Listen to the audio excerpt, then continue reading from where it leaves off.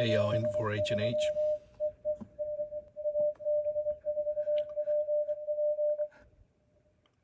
About to chase my friend Ariel, NY4G. He is on a SOTA summit.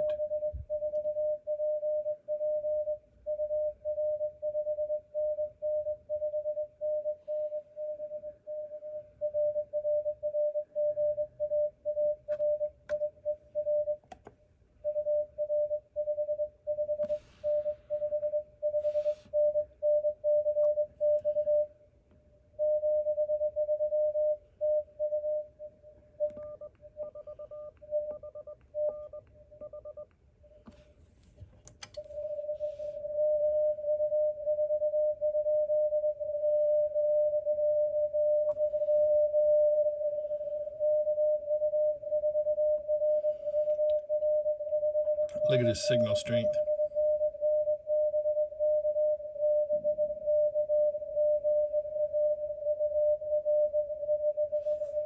So he's really approaching S7.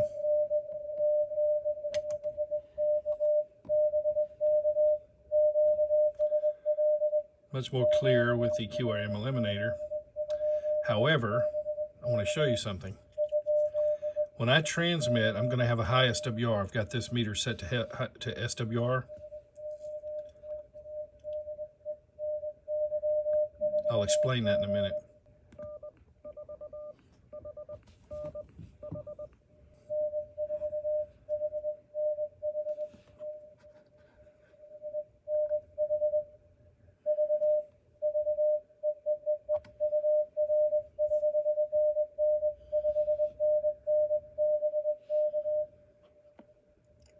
Now watch.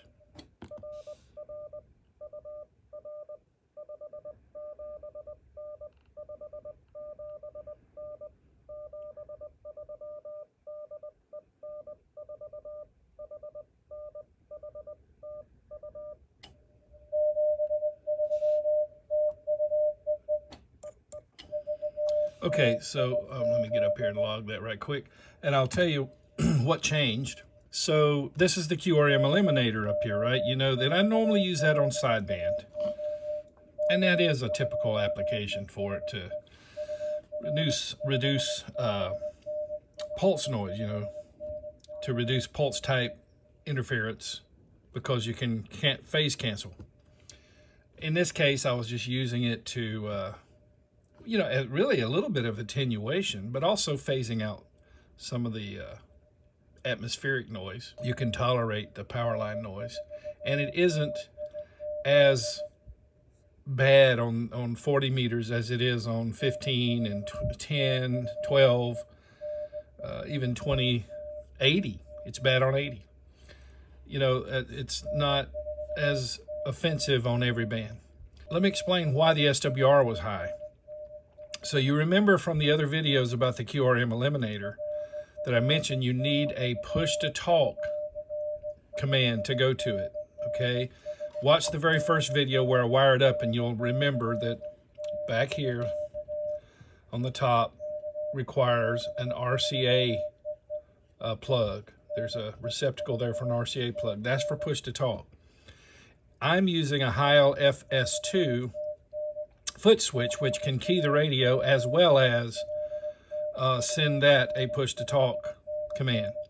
I don't need that, uh, that, what that FS2 is made for is to be able to transmit a an amplifier that if you don't have a control cable for the amp between the radio and the amp, which I do between the 5000 and the Elecraft, but I'm not even using the Elecraft. I was just running the 200 watts out of the radio then. The thing is, this QRM eliminator has to know when I'm transmitting so it can it can uh, bypass.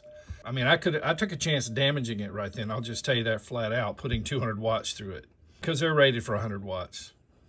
Okay, I do that for you guys.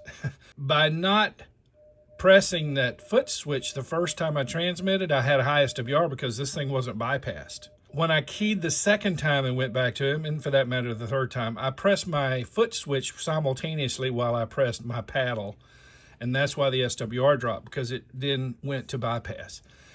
That is the importance of having that connection. So if you get one of these devices, be absolutely sure that you have a way to trigger that. Now, here's the issue you might run into. This radio, the FTDX 5000MP, has a TX ground connection on the back. That's an RCA connection. I could go from there to the QRM eliminator. I have to go into my menu. I'll, I'll show you while I talk about it, give you a little something else to look at. I'm going into the menu. Menu number uh, 173. You're going to notice that it is disabled right now. Look out here at the far right. Disable. Okay, but that's the transmit ground. So if I were to connect an RCA cable to that plug on the uh, receptacle on the back of the radio and then plug it into the QRM eliminator, that will take care of it. But I will mention that uh, there's a relay in the radio that's going to click every time I do that. Okay, that's what it's made for, but it will eventually wear out. Having the foot switch anyway and not needing the RCA plug that's on it, I'm just eliminating using my relay inside the radio. Now, honestly, if I were going to do a lot of CW with the QRM eliminator, I probably would go ahead and use the TX ground and hook up an RCA cable. Uh, th this video may be too much for some of you if you're new to this. Uh, let me give a little background. The older amplifiers, I have one sitting over here. Uh, they still make it, the Ameritron AL80B. It has a RCA plug on the back that needs that TX ground to transmit, so it knows to transmit. And even then, it pulls in a big relay inside of it. So the relay in the rig is actually pulling in a big relay inside the amplifier.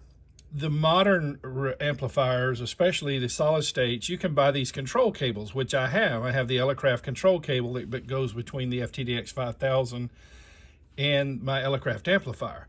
I also have the control cable, a different one, that can connect the FTDX10 over here to the amplifier. It's a different cable because the back of the radios have different kind of connectors. The connection on the back of the FTDX10 is called linear, and on the back of the FTDX 5000 there's a, a, a different arrangement, different connector, and it's called band data. So you get the right cable to go between the radio and the amplifier, and everything is electronic. You don't have to do anything. It tells the amp what band I just went to, and it tells the amp when to transmit, all solid state you know, it's, it's done with transistors rather than a relay.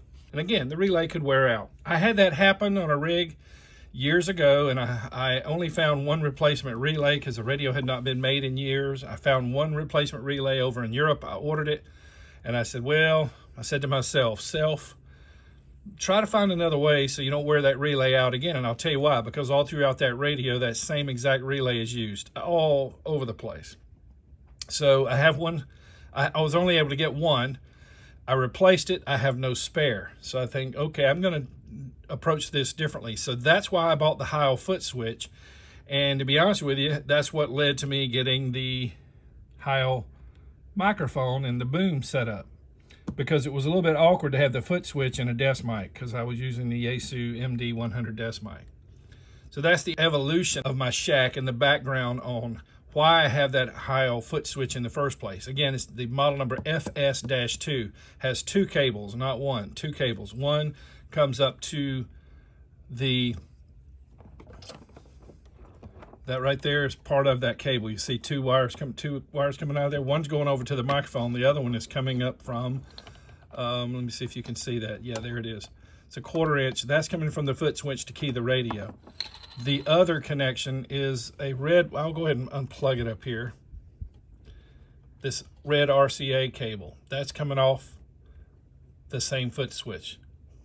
And again, that is to tell the QRM eliminator to go to bypass when I'm transmitting. Okay, so again, I could have done that from the radio, but I'm just saving my relay if I were going to use the QRM elim eliminator a lot on CW, I would probably go ahead and connect the cable to the back of the radio. But I really don't use it much on CW because of the uh, fact that, um, you know, CW is so narrow, it's going to get rid of a lot of the noise anyway. If you, if you operate CW the way I do, and I've covered that in other videos, so no need to belabor that here. What it did give me an, an opportunity to show you, though, is the importance of having that push-to-talk circuit connected, you saw that I had a high SWR here when I was transmitting. He still heard me. Did you notice that? But he probably heard me uh, heavily, well, somewhat attenuated. I think the SWR was approaching 3 to 1. But with 200 watts, he still heard me. And it was CW. He would have heard me with, honestly, he could have heard me with 5 watts. But I was definitely attenuated to some extent because of what was happening through that QRM eliminator circuit. So we just wanted you to see that. And, uh, you know, since there's been a lot more interest in devices like this of late, uh, because we're all dealing with noise unlike we've ever dealt with before, just, you know, to a greater degree. A lot more devices on the market, electronics devices that uh, can cause interference to our radios. I mean, be careful. My rule of thumb is I, if I'm in a store and I see some new electric gadget, electronic gadget, and I think, okay, that's going to plug in somewhere in my house. That's a potential for radio interference. I've had it happen a couple of times. I returned the devices. One of them was a wireless phone charger. The other was an LED light bulb. And uh, well, there was a, there was one other. There was a, a wall wart power supply, and I was able to get a, a different power supply that was well filtered. So anyway, I just wanted you to see that so that you would know why it's important to connect a PTT connection to these devices. Now, if you have an FTDX10, let me address that. You don't have that TX ground RCA jack on the back of that radio. You have a linear port, which is 10-pin mini DIN, and you have a tuner port, which is an 8-pin mini DIN. I would say try to find, buy, or build a cable that can take advantage of the TX ground that is in that connector. There is one in both. In fact, that's what's keying my amplifier. The 10-pin linear port on the FTDX10 has a ground pin in there and, and, and a high side too. Pins 1, 2, and 3 are, are ground, transmit ground, and volts. And so those can be used to trigger the amp, and that's what they do. The tuner port has the same thing, different pin arrangement. And so you can buy cables out there. I actually have one that is a, a 10-pin mini DIN that only has connections for the push-to-talk lines in that FTDX10. So uh, let me frame it this way. If you are not using an amplifier and therefore not using the linear port, then you could buy a cable that has the 10-pin mini DIN wired to those to the uh, transmit um, points on that connector, and the other end has an RCA plug. I have one, like I said, I ordered it, found it on eBay. Now, if you are using your linear port, but let's say you're not using your tuner port, then you could wire or find an 8-pin that also takes advantage of that transmit signal from the output of the radio and use that for your QRM eliminator. It just worked out for me that the foot switch was available, keeping the radio out of the equation. Okay, I hope you found the video helpful and informative. Thank you to the Patreon support team who bring you these videos. If you're watching a video now, it's because of what I call the long haulers. They've uh, joined through the Patreon program and supported this channel for a year and two and even more. Those long haulers are what, you know, funds the channel enough that I can keep these videos coming. I appreciate any any level you can help though. Uh, there are three levels of support. You can find one that's comfortable for you if you like this type of content and want to see it continue. Uh, you can vote, as they say, vote with your wallet to help uh, offset the cost of doing this. To uh, join that team, go to www.patreon.com forward slash N4HNH. That's P-A-T-R-E-O-N dot com forward slash n four h And if you would, give the video a thumbs up, a like. That helps us out with YouTube's search algorithm and costs you nothing, and you're actually helping the channel uh, by doing that. And also consider subscribing to the channel. That helps as well. If you do subscribe, be sure to click the notification bell so you'll be notified each time I upload a new video, usually two a week, occasionally a third. And also, finally, if you would, please share the link to this video on social media, text message, email, or phone a friend. Hey, thanks again for watching, and 73 from N4HNH.